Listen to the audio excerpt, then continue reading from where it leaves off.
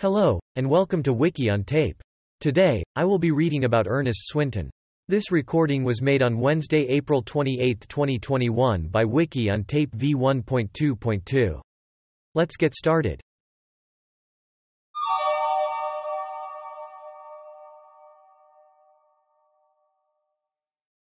Summary Major General Sir Ernest Dunlop Swinton, was a British Army officer who played a part in the development and adoption of the tank during the First World War.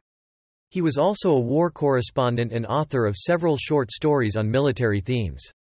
He is credited, along with fellow officer Lieutenant Colonel Walter Dally Jones, with having initiated the use of the word, tank, as a code name for the first tracked, armoured fighting vehicles.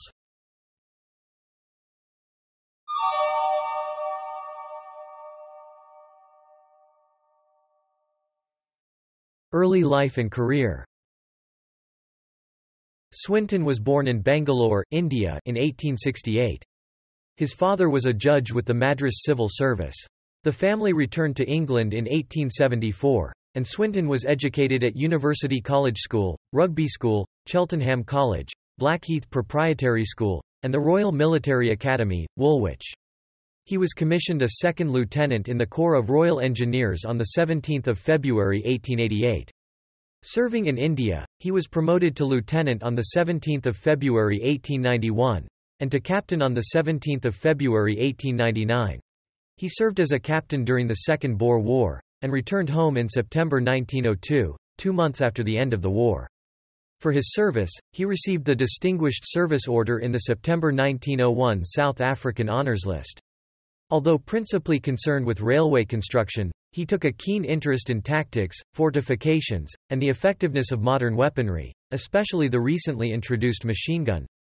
After the war, he wrote his book on small unit tactics, The Defense of Duffer's Drift, a military classic on minor tactics that has been used by the Canadian and British armies to train their NCOs and officers, and by U.S. military to train its officers.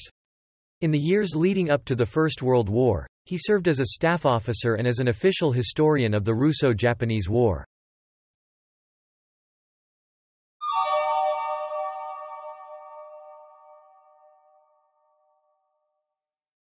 First World War The War Minister, Lord Kitchener, appointed Swinton as the official British war correspondent on the Western Front. Journalists were not allowed at the front, and Swinton's reports were censored leading to an effectively uncontroversial although even-handed reporting. Development of tanks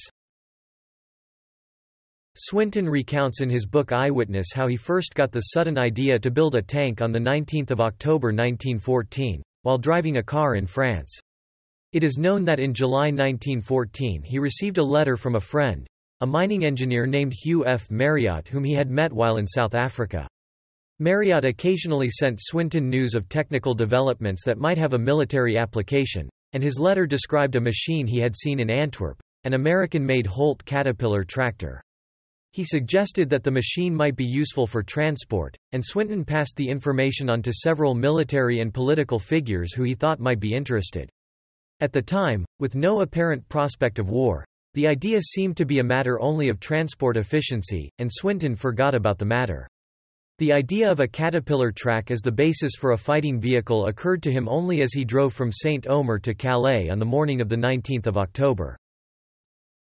In Britain, David Roberts of Richard Hornsby and Sons had attempted starting in 1911 to interest British military officials in a tracked vehicle, but failed. Benjamin Holt of the Holt Manufacturing Company bought the patents related to the chain track track-type tractor from Richard Hornsby & Sons in 1914 for £4,000. When World War I broke out, with the problem of trench warfare and the difficulty of transporting supplies to the front, the pulling power of crawling-type tractors drew the attention of the military. The British War Office conducted trials with Holt tractors at Aldershot but saw them only as suitable for towing heavy artillery.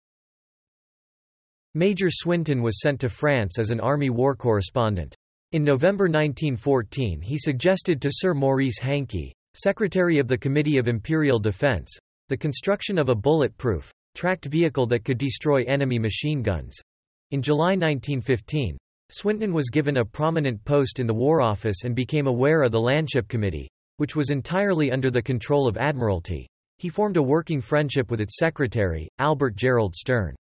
Swinton was able to persuade the Prime Minister to call an interdepartmental conference on 28 August 1915, which ensured the Army's cooperation with the Landship Committee's work and it was Swinton who drew up the specifications of the performance which the Army would require. In 1916 Swinton was promoted to lieutenant colonel and given responsibility for training the 1st tank units. He created the first tactical instructions for armored warfare. The Royal Commission on Awards to Inventors decided after the war that the inventors of the tank were Sir William Tritton, managing director of Foster's and Major Walter Gordon Wilson. However, Swinton was awarded £1,000 for his contribution. By 1918, the War Office had received 2,100 Holt tractors. In April 1918, while on a tour of the U.S., Swinton visited Stockton, California to publicly honor Benjamin Holt and the company for their contribution to the war effort and to relay Britain's gratitude to the inventor.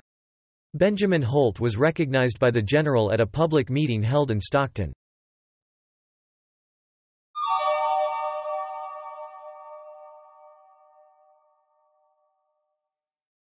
Post-war In 1919 Swinton retired as a major general. He subsequently served in the Civil Aviation Department at the Air Ministry. He thereafter joined Citroën in 1922 as a director. He was Chichele Professor of Military History at the University of Oxford and a Fellow of All Souls College, Oxford from 1925 to 1939.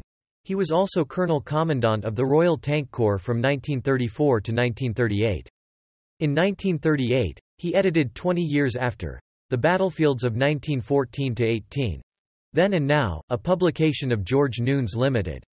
This was planned for issue in 20 parts but ultimately amounted to 42. The magazine-style publication contained wartime and present-day images of France.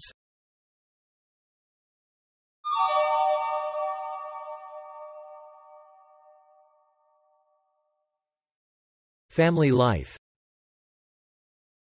Swinton married Grace Louise Clayton in 1897 and they had two sons and a daughter. His daughter died in a road accident during the Second World War. Swinton died in Oxford on 15 January 1951.